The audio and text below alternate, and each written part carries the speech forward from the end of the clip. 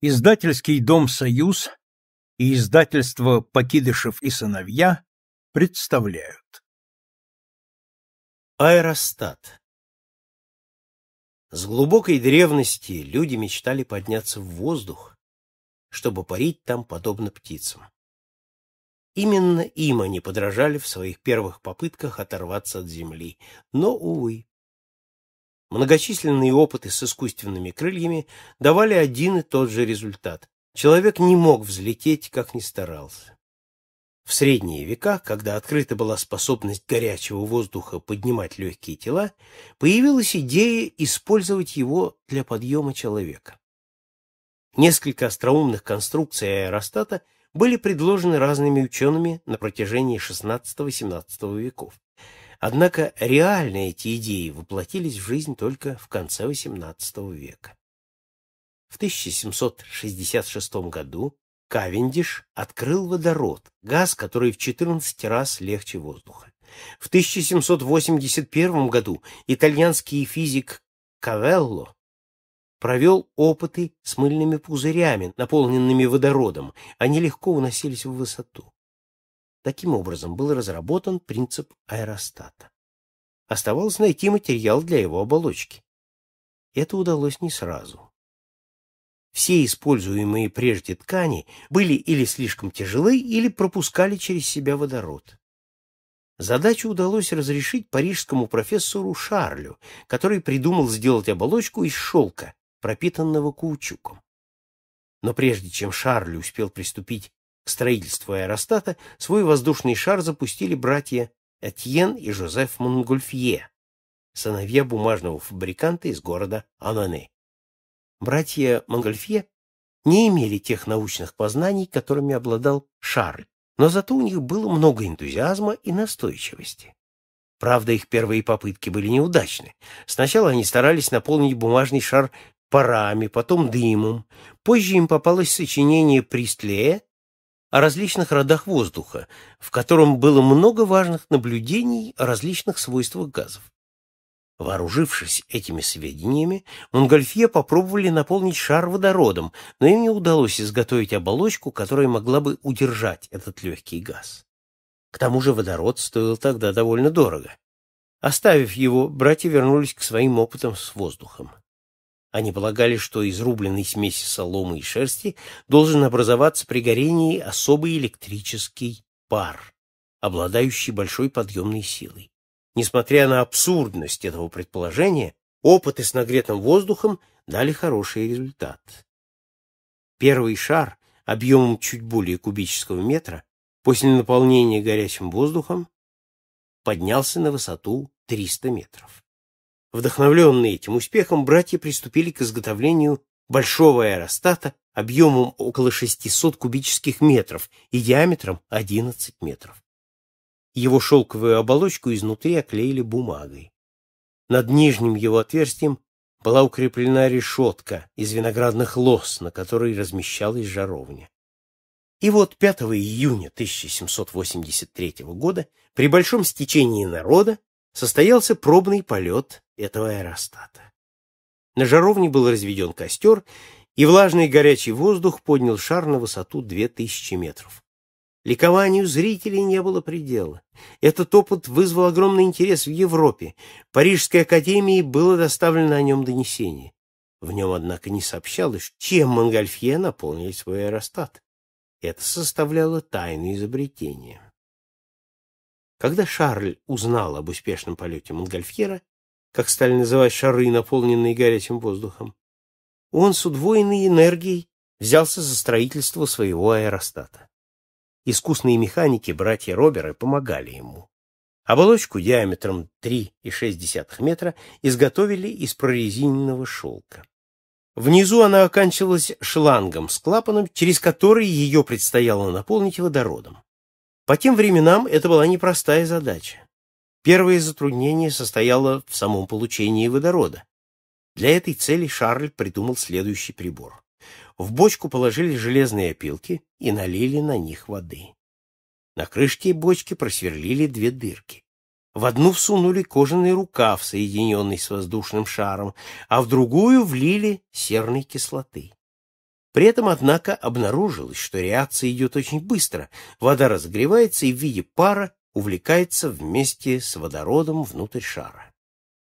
В воде находился раствор кислоты, которая начинала разъедать оболочку. Чтобы избежать этого, Шарль придумал пропускать получаемый водород через сосуд с холодной водой. Таким образом газ охлаждался и одновременно очищался. Дело пошло успешнее, и на четвертый день работы установки шар был наполнен. 27 августа 1783 года на Марсовом поле состоялся запуск первого шарльера, так стали называть шары, наполненные водородом. Более 200 тысяч парижан присутствовало при этом небывалом зрелище. Шар стремительно взмыл вверх и через несколько минут был уже выше облаков. Но когда аэростат поднялся на высоту около одного километра, его оболочка лопнула от расширившегося водорода и упала неподалеку от Парижа в толпу крестьян деревни Гонес, не имевших никакого понятия о причинах происходящего. Большинство из них подумали, что свалилась луна. Когда же крестьяне увидели, что чудовище лежит совершенно спокойно, они напали на него с цепами и вилами и в короткий срок страшно искололи и разорвали остатки шара. Примчавшийся из Парижа на место падения своего аэростата Шарль нашел лишь жалкие его лохмотья. Прекрасное творение рук человеческих, на которое было израсходовано около десяти тысяч франков, погибло безвозвратно.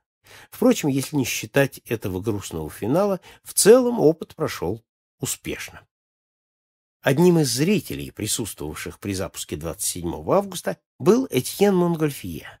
Он принял своеобразный вызов Шарля и 19 сентября того же года в Версале, перед глазами самого короля и бесчисленной толпы любопытных, вместе с братом поднял в воздух шар диаметром 12,3 метра с первыми в мире воздухоплавателями.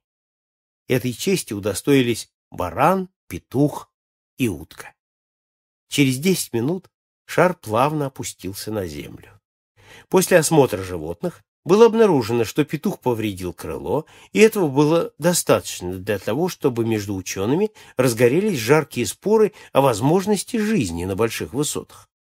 Опасались, что живые существа могут задохнуться, если поднимутся на высоту более километра. Ведь никто еще не исследовал эту таинственную атмосферу.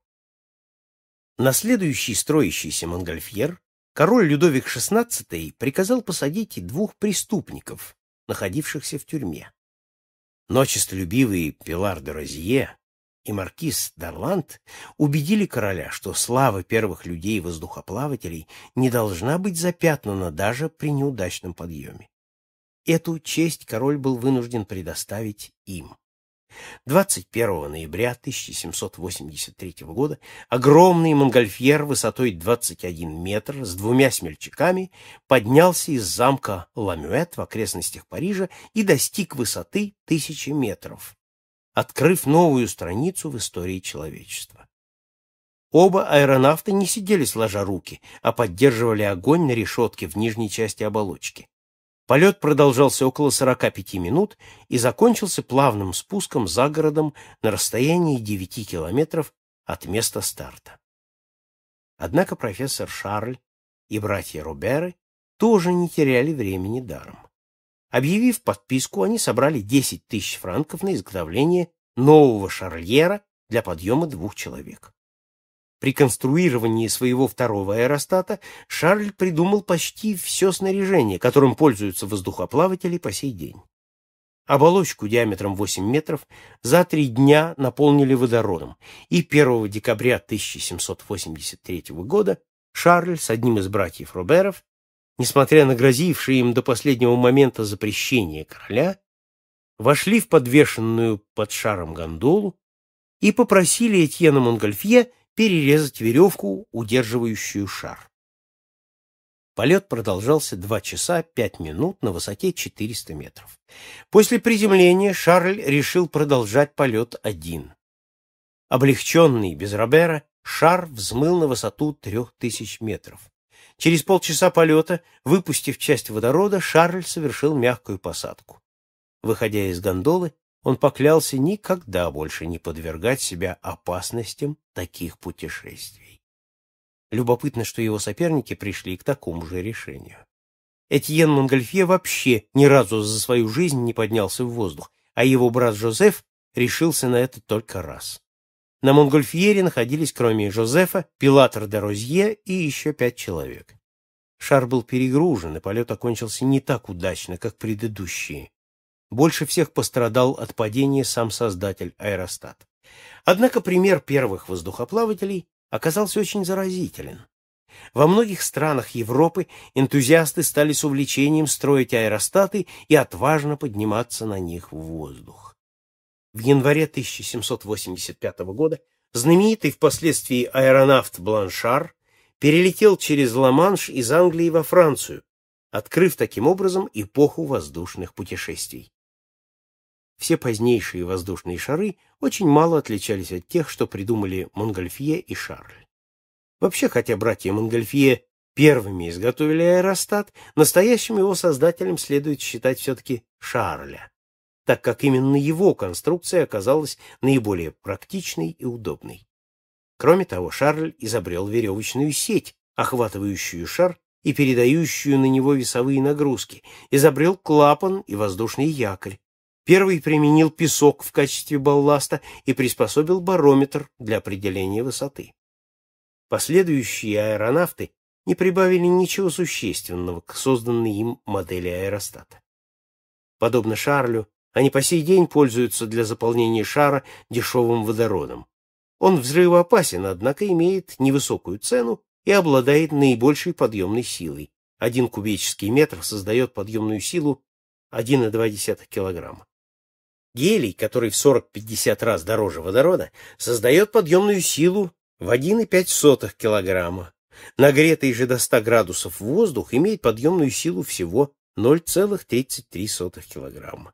Поэтому монгольфьеры при одной грузоподъемности с шарлерами имеют объем в 3-4 раза больше. Кроме того, они должны нести топливо для горелки. Большая площадь поверхности Монгольфьера способствует огромной потере тепла. Полет любого аэростата подчиняется закону Архимеда. Подъемные силы несущего газа, заполняющего оболочку, есть разница между весом воздуха, вытесненного оболочкой, и весом несущего газа. Чем меньше удельный вес газа, то есть чем он легче, тем большей объемной силой обладает аэростат. Из этого видно, что наибольшей подъемной силой обладал бы аэростат, имеющий внутри своей оболочки вакуум. Впервые идею такого аэростата предложил в 1670 году монах Делана Терци. Эта идея до сих пор не осуществлена, но если бы удалось преодолеть атмосферное давление, которая будет сжимать шар силой 10 тонн на каждый квадратный метр, она вполне могла бы дать свои результаты. На большой высоте, где давление воздуха меньше, газ внутри оболочки начинает расширяться, распирать оболочку и в конце концов разрывает ее. В избежание этого первые воздухоплаватели были вынуждены оставлять открытой трубку, через которую происходило заполнение шара водородом, аппендикс. Поднимаясь, аэростат выдавливал из себя через аппендикс избыток газа. Оболочке вследствие этого уже не грозил разрыв, но с утечкой газа уменьшалась подъемная сила аэростата. Приходилось облегчать гондолу, сбрасывая балласт. Посадка аэростата всегда была опасным делом. Чтобы сделать ее менее рискованной, Шарль снабдил свой шар несколькими защитными приспособлениями.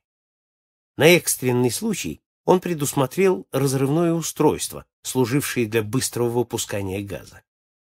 Обычно, желая опуститься, аэронавт выпускал газ понемногу через специальный клапан, но при ветреной погоде существовала большая опасность, что шар с гондолой будет волочиться по земле, поэтому перед касанием земли пассажиры, потянув веревку, открывали большое отверстие для выхода газа. Для уменьшения скорости спуска применяли гайдроп, толстый канат длиной 60-100 метров, который сбрасывали перед приземлением. При касании гайдропом земли вес аэростата уменьшался на вес гайдропа, находящегося на земле, и спуск несколько замедлялся. Маневрируя балластом, газовым клапаном и гайдропом опытные воздухоплаватели могли довольно успешно регулировать высоту полета, взлетать и приземляться. Что касается направления полета, то тут аэронавт был в полной власти воздушных течений. Все попытки управлять полетом воздушного шара с помощью крыльев, весел или винтов, приводимых в действие человеком, оказались неэффективными. Во многом вследствие этого практическая польза от воздухоплавания, учитывая колоссальные затраты на него, особенно в эпоху увлечения дирижаблями, которая пришлась на первую треть XX века, всегда была ничтожна. Но не следует судить об этом замечательном завоевании человеческого ума только с точки зрения практической выгоды. Аэростат впервые дал людям возможность оторваться от земли и взмыть под облака, подобно птице. Он удовлетворил многовековую мечту человека о полете, поэтому его создание должно быть поставлено в ряд величайших человеческих изобретений. Дорогие друзья, вы прослушали фонограмму, созданную издательским домом «Союз» и издательством «Покидышев и сыновья». Копирование, воспроизведение, переработка и иное использование данной фонограммы или любой ее части без согласия правообладателя является незаконным и влечет уголовную, административную и гражданскую ответственность в соответствии с законодательством Российской Федерации. Все права защищены.